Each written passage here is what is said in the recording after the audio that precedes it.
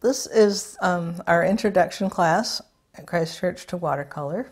And the painting that we're going to do today, each one of you are going to do, is this um, poppy picture. We're calling it Poppies in a Meadow. Okay, now we're showing some reference photos of poppies in a field. And you're seeing that um, how they are structured and just how beautiful it is. And we'll talk more about these photos later and what you're looking for. And I just wanted to cover a few things before we start it, um, just about watercolor in general. And that's that um, we start, we're going to start with the background and then come to the foreground in different layers. And we're going to go usually from lighter to darker. And when you hold your brush in watercolor, don't get way down here like you would for a pen. You're going to hold it loosely. So you're going to kind of have loose strokes. You know, that's a really important part of this. Um, and also, make sure you keep your water source clean. So if you have to get up and go get clean water, do that whenever you need to because you want to have nice clean water in your, especially one of your cups. So the key to this painting is that we're going to use water, a lot of water. So the paper that we're using is quite thick and heavy. It's a 100% um, cotton cold press watercolor paper. And um, part of what we're going to do is um, use water to paint with and then we'll fill in color in the puddles of water that we make. And that way it'll blend on the paper. I'm going to talk to you about what we have for supplies first. We always need paper towel. I like to fold up a little piece of paper towel and have it right by my palette so that I can keep my brushes on it. And you have to have water, keep two pots of water, um, one that you'll use to swish your brush clean and you'll need to change that one more often and then you keep this one quite clean because you're going to use it for washing and diluting so you don't want to have any color in it. Um, also a Kleenex. When you're ready to, when you're doing your painting and you want to pick up, like you have a puddle of water, you can just rip off a piece of Kleenex and dab it like this. The colors we're going to use are lemon yellow, ultramarine blue, cobalt blue, some violet or purple, uh, and then three that are in the red family, crimson red, um, cadmium red, and your, your red might, this red for you will probably be a, um, a rose color, cadmium red and a burnt umber. And the other thing you're going to have is a um, spray bottle, and you'll be sharing these. I didn't buy one for each of you. And some masking tape, and we're going to move over here. You have a, you'll have a pencil which draws lighter. It's not a number three, it's a six. An eraser. And you're going to have two brushes, and you'll get to take these home. You have two round brushes. One's a number four, and these are particular for watercolor, and a number two. And we're going to use just a cheap foam brush to wet our paper. In your little medicine cup, we're going to have some of this masking fluid, and this is used to um, cover over the places that we want to keep white. Um, and the tools you're going to use to apply it are some toothpicks and some um, Q-tips. Okay, so to prepare the paper, and you can just um, look at this and sketch it yourself if you want to, but I've made a pattern for each of you in case you're feeling a little uncertain about um, drawing. If you take, take your pattern like this and on the opposite side, on the back side, just scribble every place where there's anything drawn. Okay, so when we scribble on the back, use a number two pencil. And then we're going to transfer it onto our watercolor paper. And it won't be real dark, but it'll be good enough. We'll be able to see where those shapes are. I'll just do that quick a minute.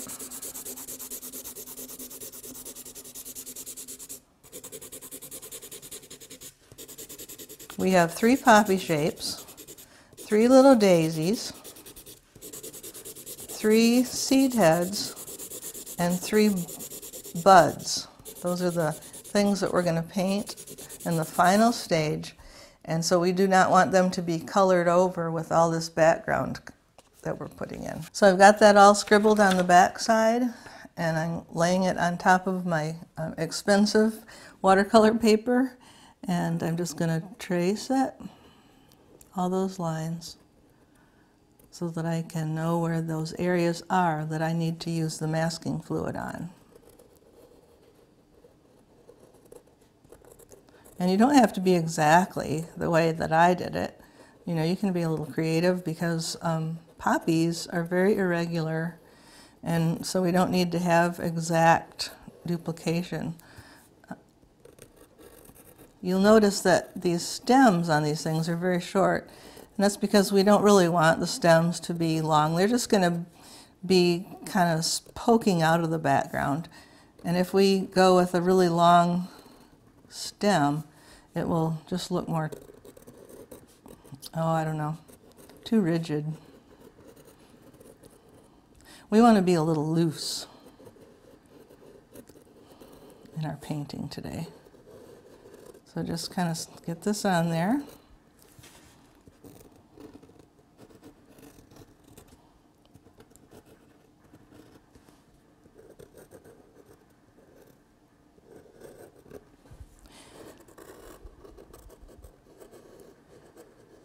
There's kind of a rule of threes in art. It's just pleasant to have three of something rather than an even number. So gone with three pop, big poppies in the foreground, three little daisies, and three poppy um, seed pods, and three poppy buds.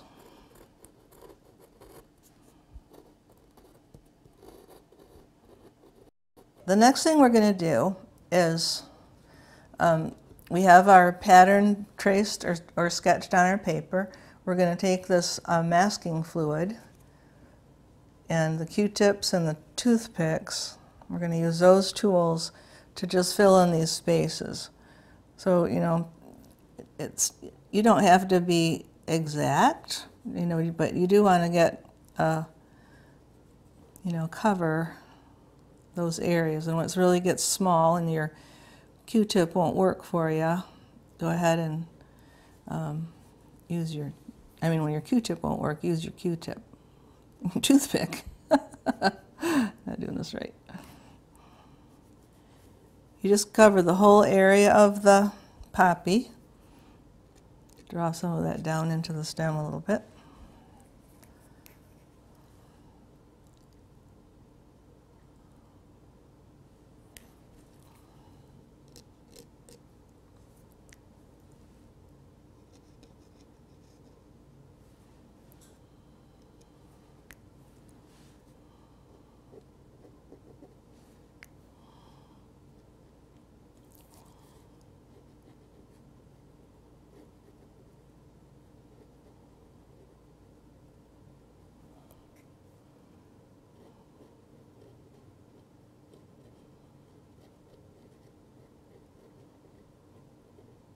This takes a little while to dry, so we can't really do anything else on this until it is dry.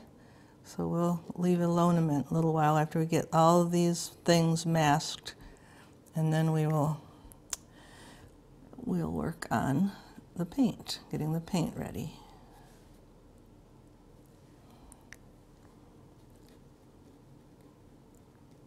We don't use a I don't really like to use a um, paintbrush for this stuff because it ruins a paintbrush. It just um, builds up on it. It's really weird. It's like a combination of Elmer's glue and rubber cement because after it dries it will stay white but we'll be able to peel it off toward the end of the painting so that that area is maintained as white space. Most watercolor artists do not use white paint, except for rare circumstances, like maybe just um, put in stars in a night scene or um, snow in a snowy scene. But usually they just al- allow the to keep the white. They keep a white in their picture. It's good to have white space.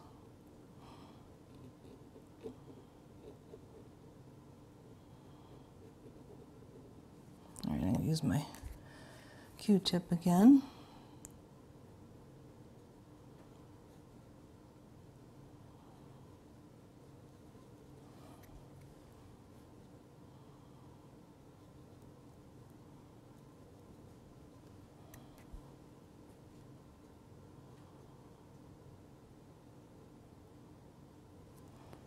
for the larger areas.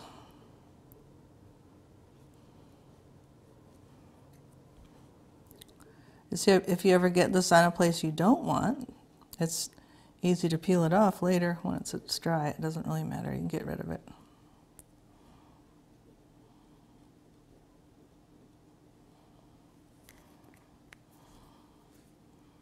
Bring those stems down a little ways.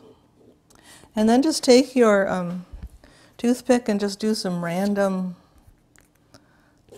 stems. Just so you'll have some white space maintained in your painting when you're done. There's no um, right or wrong here. You can, you know, just do some dots once in a while too. Those would be cool.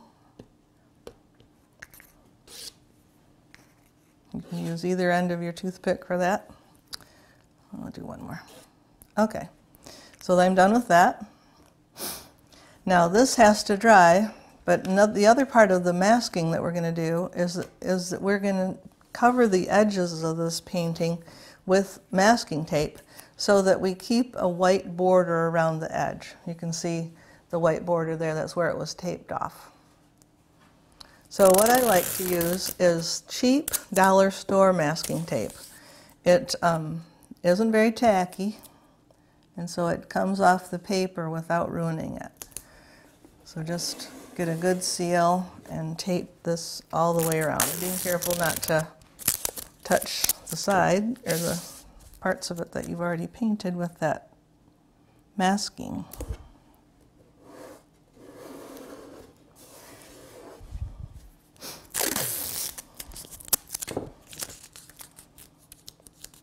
And you're going to be taping this directly to the table. I'm up on a slant so you can see in the camera.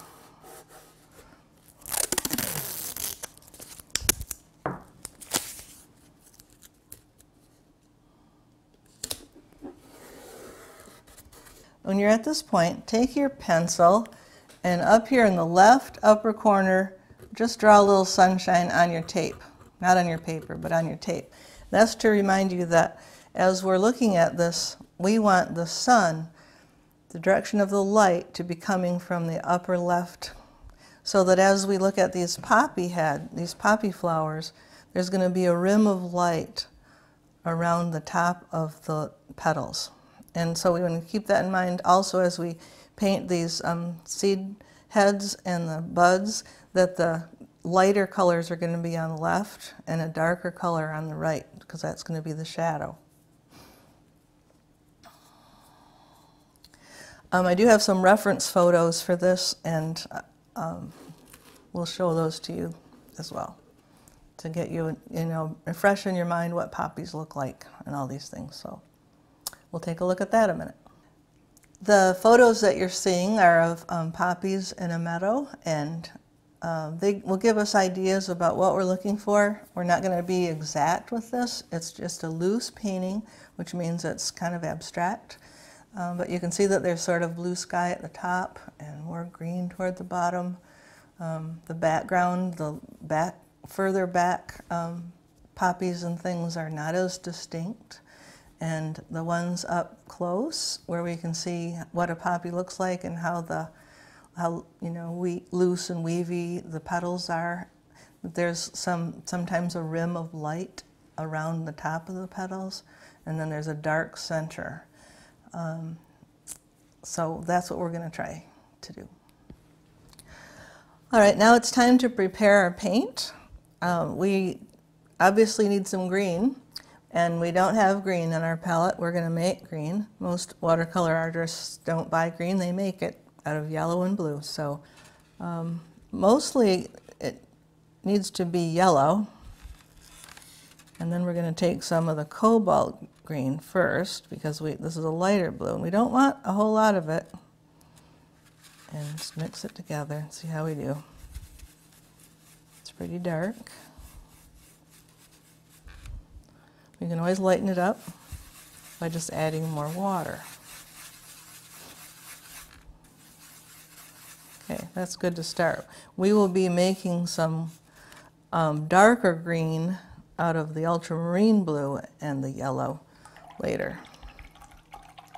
When you're rinsing your brush out, um, you know, give it some good action. If you do like a figure eight, it's supposed to work faster.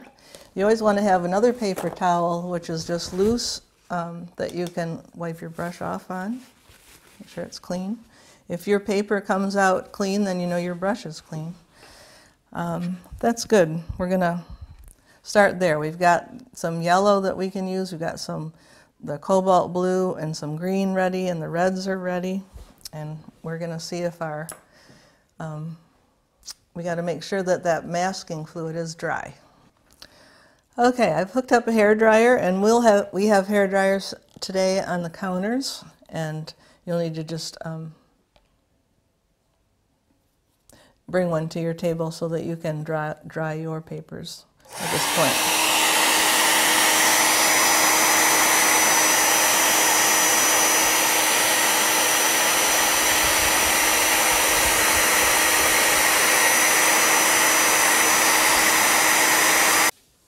Okay, the next thing we're going to do is use our clean water and, our, and your um, foam brush and get this whole paper wet. So just um, gonna go back and forth and up and down. Let's go right over that masking and get the whole thing wet.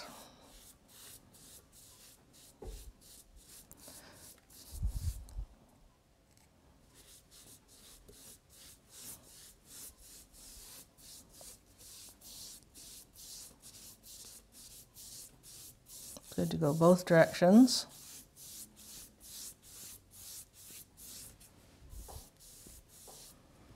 Okay, now you can kind of see in the, sh the shine, the sheen of it, that it's all pretty evenly wet. We want that to soak in a little bit. We're not going to need that brush again. From now on, if we need to wet the paper more because it's getting too dry, we're going to use our mist sprayer.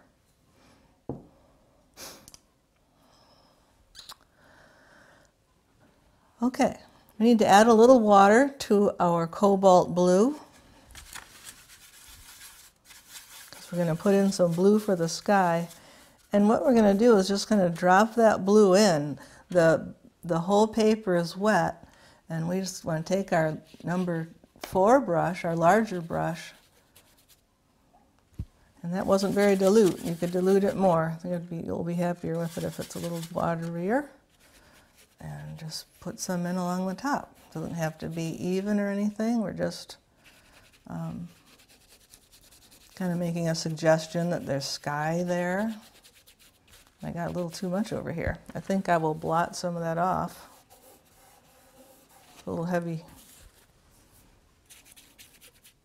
And see the pattern of that paper towel. Okay, good. Clean your brush.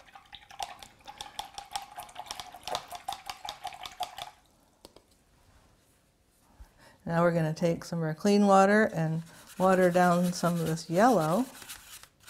And what we're going to do is make some, you know, suggestions of grass. So it's just, you know, that some sweeping strokes across. some blue in there so it turns green.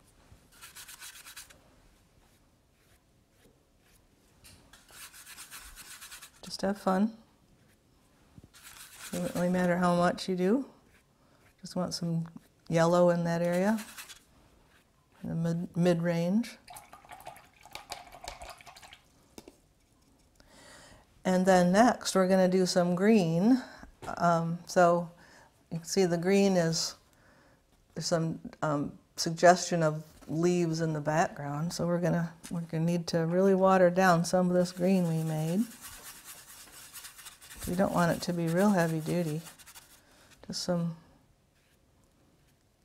the same area. And watercolor will always be lighter when it dries. So don't be too afraid if you get um, kind of a, a dark streak of color because it will be lighter when it dries. There, I got some blue there. Maybe I'll add some yellow to that blue. Some green. Okay. Now we're going to add some distant poppies. There's some um, areas here that are really, really light red and that mixed right into the background. And I'm noticing that my paper is starting to get a little dry. So I'm going to take my mist sprayer and, you know, from about 10 inches away, just give it a nice spray. And that will help all these colors bleed into one another. And that's really what we want at this stage. We don't want anything real specific. Now what I'm going to do is um, water down some of this cadmium red. And I do want it quite watery, so I'm going to keep watering it down a little bit. And then I'm just going to add some red blotches in here every so often. And that's just a suggestion that in the way background, there are poppies in this field that aren't all real close up.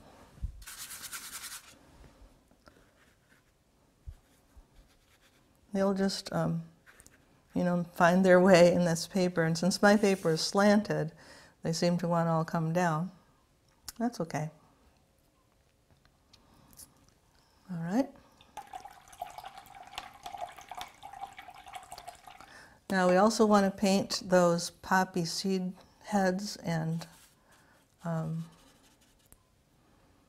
or some suggest some distant seed heads. So we're just going to put a few of those, you know, that round shapes and oval shapes to say, you know, back inside there in the different places, there are some that are back farther as well. All right, and the next thing we're going to do is use stronger color because we're going into the midground. So we've gotten the background um, in there, but we need to step toward us now um, what's a little closer in for our next phase. Okay, you can see that I've, I've cleaned my water, got fresh water, and I've also cleaned up my palette a little bit. I didn't like how the cobalt blue was running in there, and we're actually mostly done with the cobalt blue. We're going to use the ultramarine blue from now on, so um, we have to make quite a bit of green. Our um, next step is to do the midground. So that means we're using stronger colors, not as diluted. Um, and what we want to do is make some leaves. So we're going to mix um, some lemon yellow with the ultramarine blue. And we'll just mix it right here next to the um, this other green. So we'll still have some lighter green there. We don't need a whole lot of blue with that. I think I got too much. It's always a challenge, isn't it? to get the green that we want. I'm going to have to get more yellow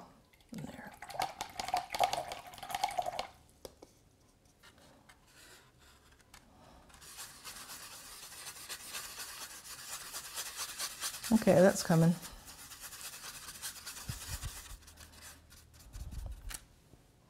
I'm to make a little lighter puddle over here. All right. Next we want to do some random leaf shapes and we're going to switch now to the number two brush, which is a smaller one. Okay, still a round brush. Get it wet first, um, wipe it off, and get it in your kind of a lighter, weaker green of those. And we're going to put in some shapes that are going to still fade into the background some. It's going to be like these kind of leaf shapes that still blend in because it's wet. but it's not as wet as it was. And we want to be a little more like leaves. So we're expecting it to um, lines. We can you know, do some curvy things. Just be creative. We're not making specific leaves for any specific plants.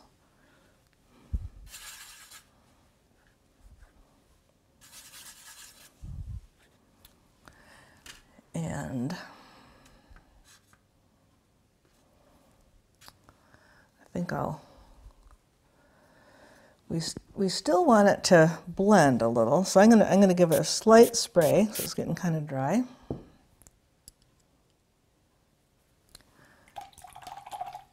Now I want to make, I have kind of a, whoops, brought more blue in a darker area here in my palette where I had a little bit more of the ultramarine blue. And I want to do some more leaf shapes, um, but I want them to be a little thicker and darker. We're, we're coming toward the viewer. So you can see it's a little bluer. It's still rather random though, but we're going to go down a little lower on the page. A little darker different directions. There's really no right or wrong here. Just play. My paper is getting kind of dry.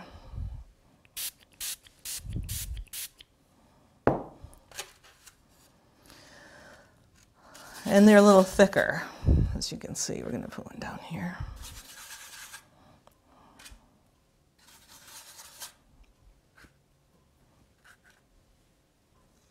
Okay. All right, we want to keep it damp still, so keep it misted. And then um, take your smaller brush take a little bit of um, diluted bluish greenish and just fill in some of these areas that don't have any color.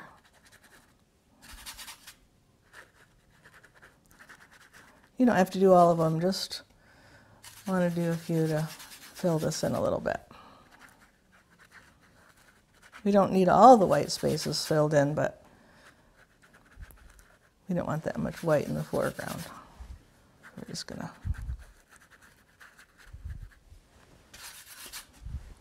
do a little filling here. And if we did it all in green, we'd kind of lose our leaves, so we'll do a little bit white. Okay. Right. We're moving toward the foreground. So the next thing we want to do is bring some mid-ground poppies into this picture. So we're going to, uh, we can take our crimson red. It's going to be a little, um, or your other red color, whatever that one is called. It might be a, a rose, but a little thicker, not quite so diluted. And we're going to put in a few poppies that would be closer to the viewer. Now these are just going to again be um, fairly random shapes. We're not really specific here, but we're just, they're, they're going to blend in. They're, they're background poppies, or midground poppies, I guess what we're calling them.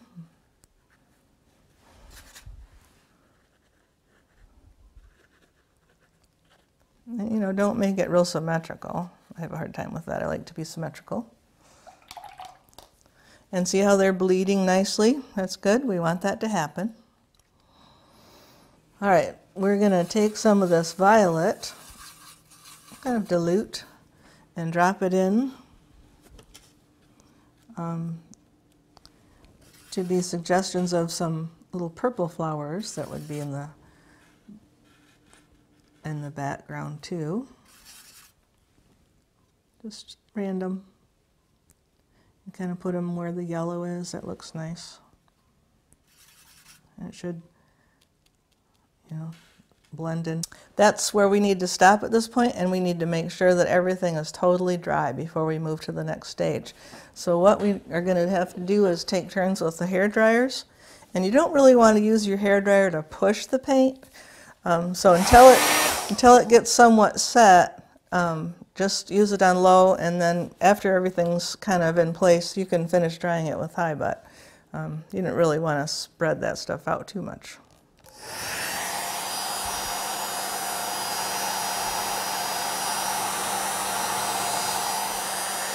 If you weren't doing this with a hair dryer, it would probably take about an hour for it to dry before we could do the next part. We need it to be totally dry before we can take that masking off. Okay, so it's time to remove the masking on the poppy shapes and the seed buds and these little um, white lines that I put in there. To, to get it off, you just rub it. It's kind of fun. You just rub it until it's all off. Um, I have one large poppy shape left to do. I'll show you. I just kind of peel it off. Kind of gummy.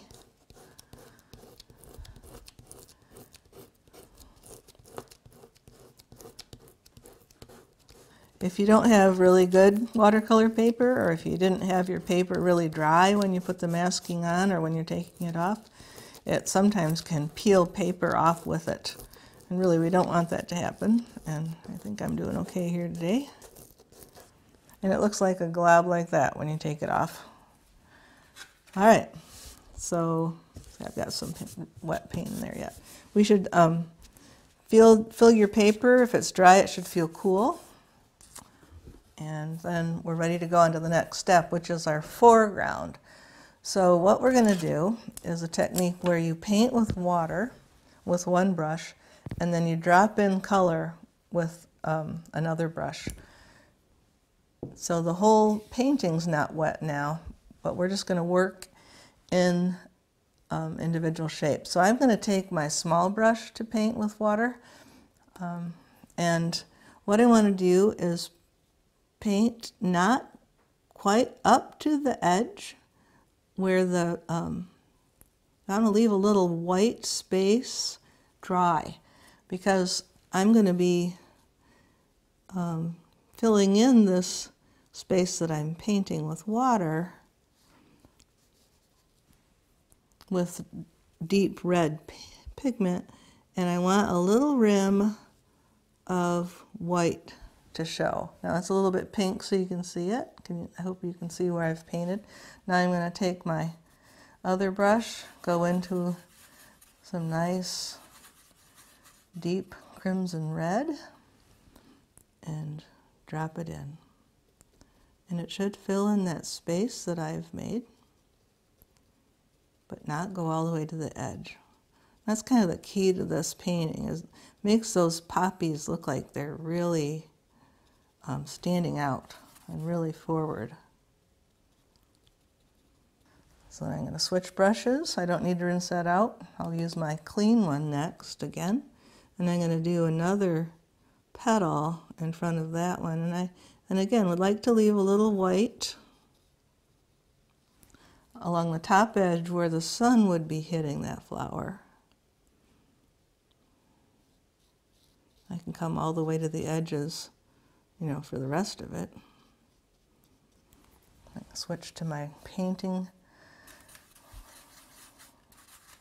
brush.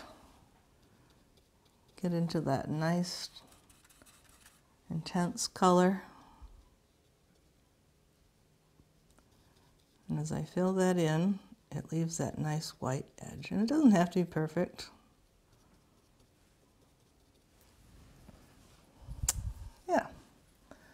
We're going to move on to uh, another one over here.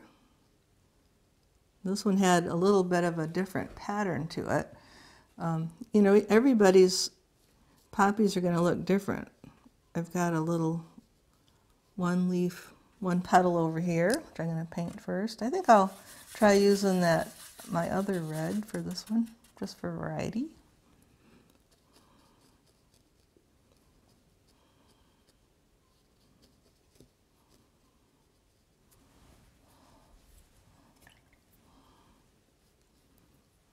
with my water. I don't really want to try to hit that other red, but if I do, that's not the end of the world.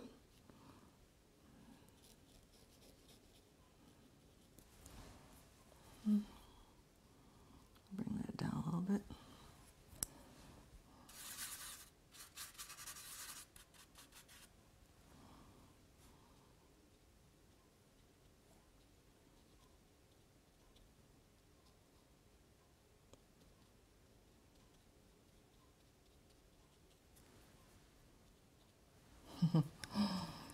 Since my paper is slanted, it really is puddling down toward me.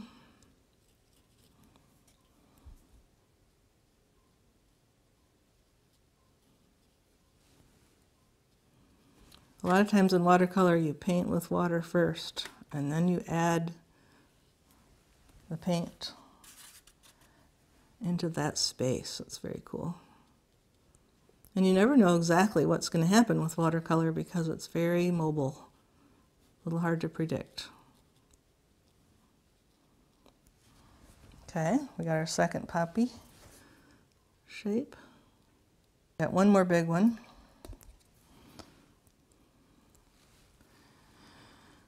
Hmm, I'm gonna just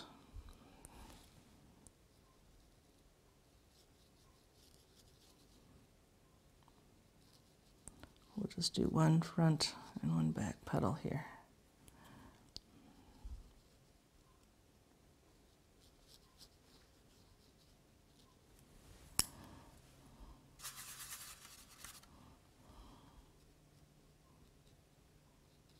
Remember the light is coming from the left upper corner, so we want to make sure we have some white edges on our petals there.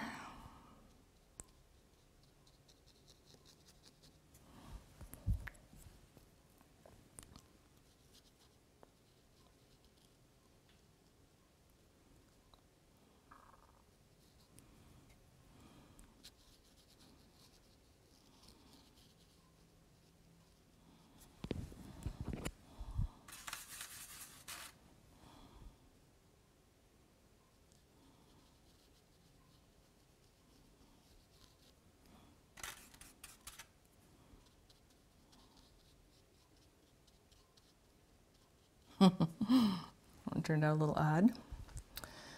All right. I'll wash out our brushes.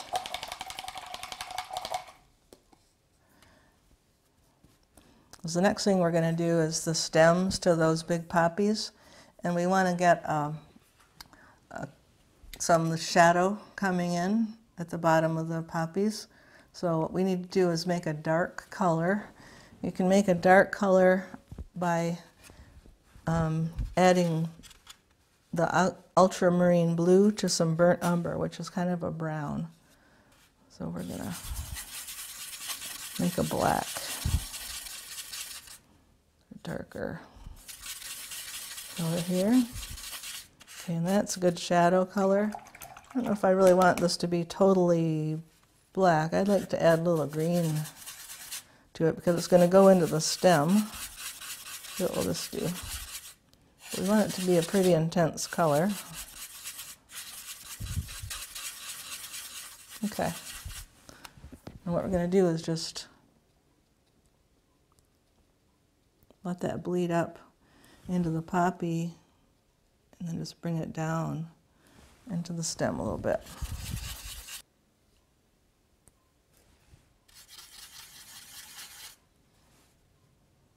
We want that red to draw it up. Maybe I'll need to tip my painting more.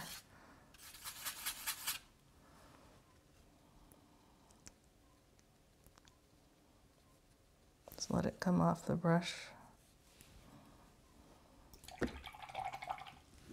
I'm going to tip the painting up this way for a little while. You can have a lot of fun with um, watercolor interaction with the paper and the wetness by just changing the direction of it for a while. It really affect how it bleeds. Let's see if we can get that.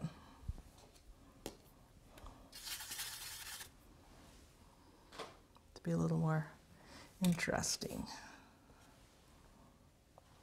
Ooh. Okay. There we go. All right.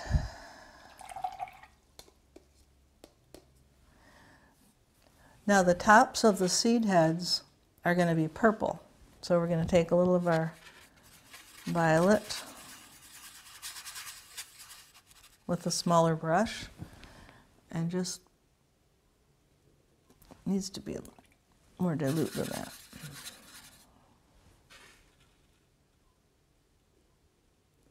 Just paint that little top part. Uh, there's three of them. So that's a little bit that we saved as white. We want that to dry. Okay.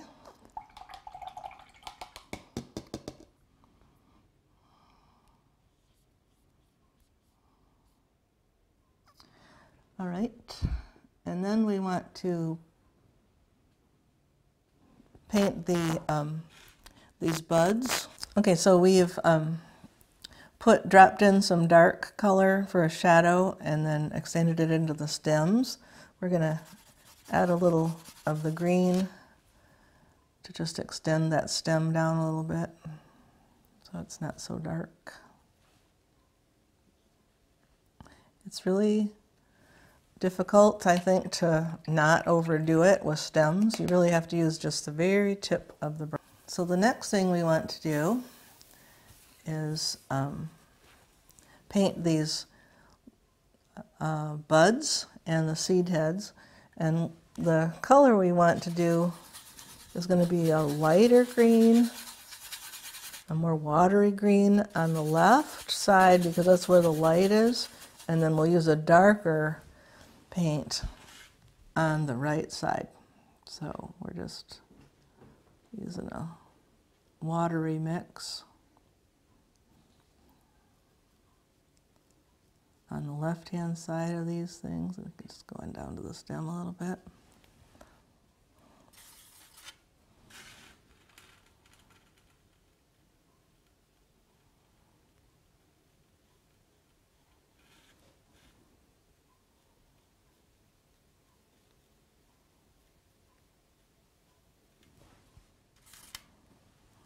There's one over here.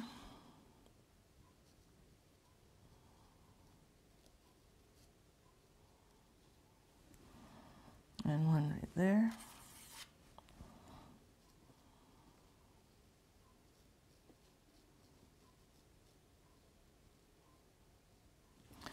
Then I want to um, use a darker green, bring in some more of the ultramarine blue to darken that up.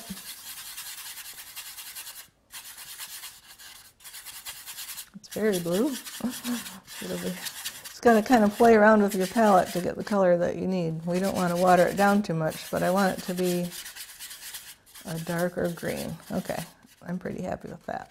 All right, then I want to bring that in to the right hand side, the shadow side of these, and let it blend together. Just let it kind of organically flow together.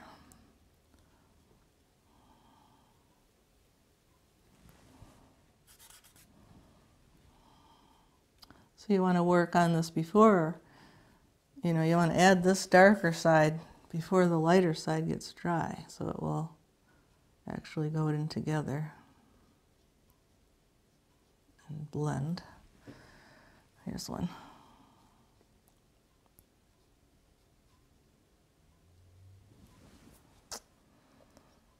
Okay, I think I got all those.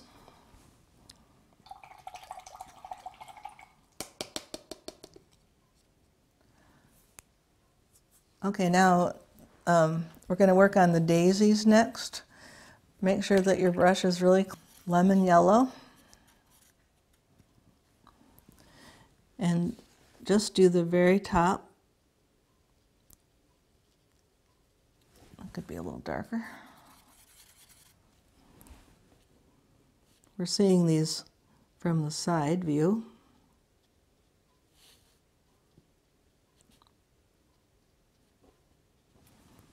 Okay. And then take a smidgen of the red and blend it into a corner of your yellow section to get some warmer yellow. And we'll just um, just touch the, the bottom edge just to warm those up a little bit. Now those are going to need to dry a little bit, so we'll leave them alone. Okay, so to make the petals of these um, little daisies stand out, we can take a little, with our thin brush, take a little bit of watery, not too much. We, you know, wipe it off on your paper towel so that you're not getting it real heavy duty because we're just going to take a little bit with the very tip of the brush and do like a V shape around those petals so they stand out from the background. See how that just makes it look three-dimensional? We'll just do that on each of those. Just the bottom, just like a little. Now those are getting a little too distinct, I think. So what I'm going to do is take my Kleenex. Where'd my Kleenex go? there it is. If I ever get anything on too heavy, I can just, while it's still wet, I can just try to blot it up a little bit. That didn't work. I'll show you another technique to do that. We'll take our dry brush, our, I mean our brush that's been rinsed out. It's a little bit damp, and I can just paint, not quite damp enough, the edge of that which I painted, and just um, blend it out a little bit. Not really working. I got too wet.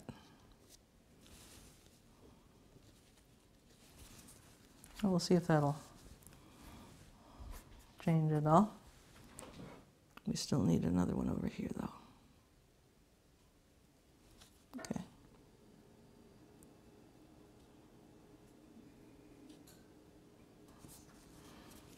It's a little wet in there.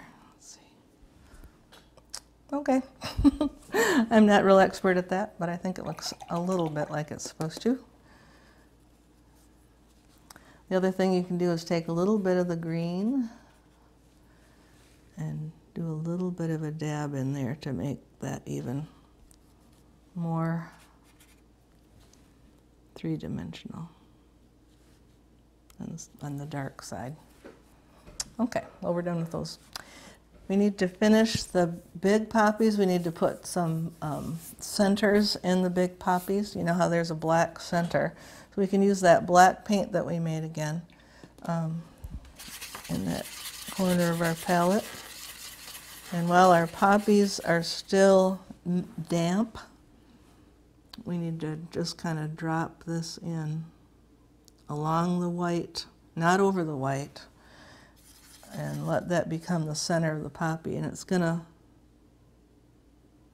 bleed in to the poppy.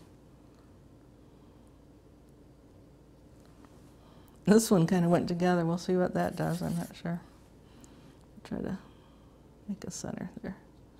I'm sure you would even see it. I want to have a medium green now, so I'm going to take a little spot of that blue and mix it in with my lemon yellow that's left to make kind of a little lighter green with my narrower brush. And now we're just going to do some scribbles, some light touch grasses that are going to be in the foreground. And so you just have to be brave now and just try to get your brush loaded enough that it won't run out of paint while you're making your you know, just don't go too fast. A couple of these strokes that make it look like,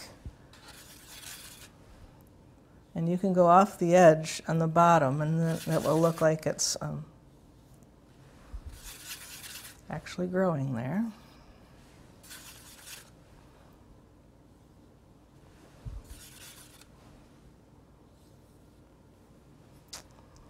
Oh, let's see. I got a little bit more.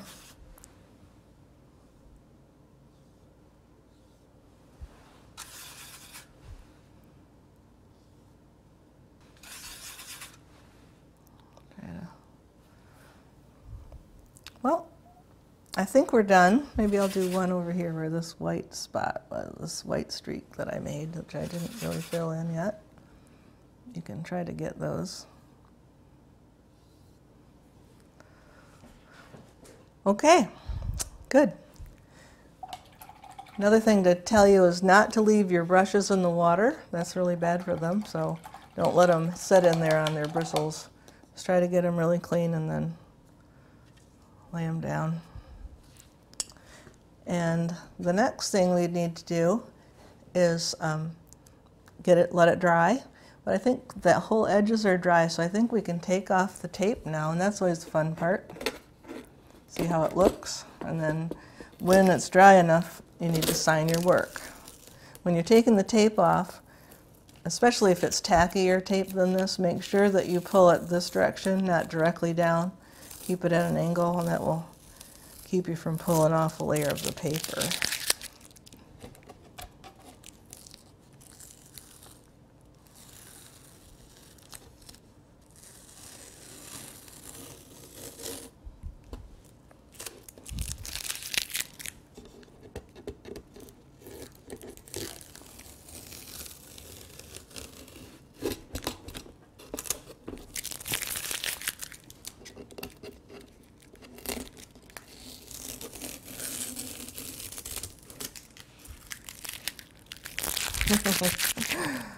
And there you go. And then we have a few of these pens, pens around, and I think it's good to identify who made this painting, so you can put your signature on it.